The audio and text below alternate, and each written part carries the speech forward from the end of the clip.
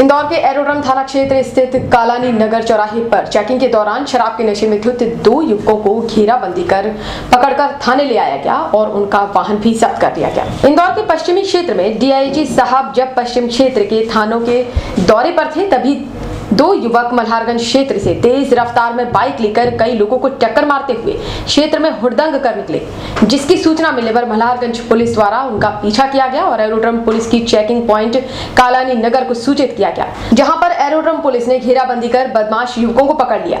युवक काफ़ी नशे में धुत थे और कई लोगों को रास्ते में टक्कर मारते हुए वाहन चला रहे थे। पुलिस ने दोनों युवकों को गिरफ़्तार कर मेडिकल के लिए भेज दिया। वहीं दो पहिया वाहन जब्त कर दिया गया है, जिस पर दंडात्मक कार्रवाई की गई है। युवकों के नाम शुभम और अभिमन्यु हैं, जो कि एरोडम क्षेत्र के ही रहने वाले हैं।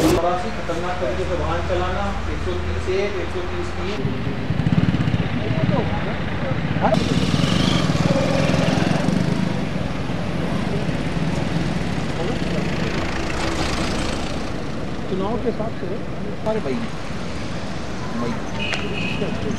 सामने।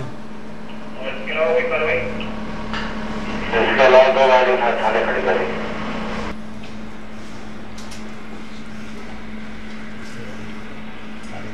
सूचना मिली थी कि दो बाइक सवार जो हैं बहुत तेज़ गति से चल रहे हैं जिनने कुछ लोगों को एक्सीडेंट कर दिया है। तो पल्सर गाड़ी से दोनों नशे की हालत में है तो उनका पीछा भी मल्लारगंज पुलिस द्वारा किया जा रहा था। जैसे सूचना मिली तो हम लोगों के द्वारा कालाई नगर चेकिंग पॉइंट पर जो है, उन्हें घेराबंदी करके रोका गया और पकड़ा गया और उनके विरुद्ध वैधानिक कार्रवाई की जा रही दोनों का मेडिकल कराया जा रहा है, नशे की हालत में।